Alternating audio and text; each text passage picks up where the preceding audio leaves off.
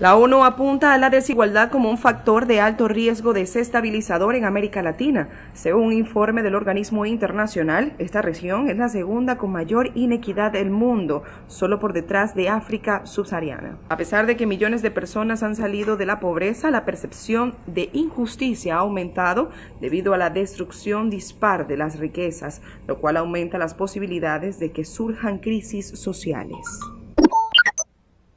Varias personas fueron detenidas por la policía mientras participaban en una manifestación pacífica en el Aeropuerto Internacional de El Dorado, Bogotá, Colombia.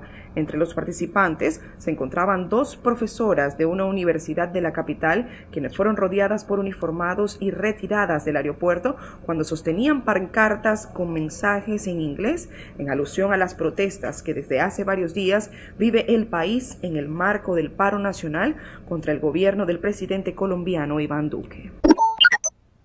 Cuatro personas, incluido el atacante, perdieron la vida y dos resultaron heridas en un tiroteo que tuvo lugar en el centro histórico de la Ciudad de México, cerca del Palacio Nacional. Así lo informó la Secretaría de Seguridad Ciudadana de la Ciudad de México a través de su cuenta de Twitter. Según los reporteros, el agresor entró a una vecindad para realizar sus necesidades fisiológicas. Tras una discusión con dos vecinos, sacó una pistola y disparó a las personas que se habían quejado de su comportamiento. Cuando los agentes de la policía llegaron al lugar, el atacante incumplió la exigencia de rendirse y fue abatido.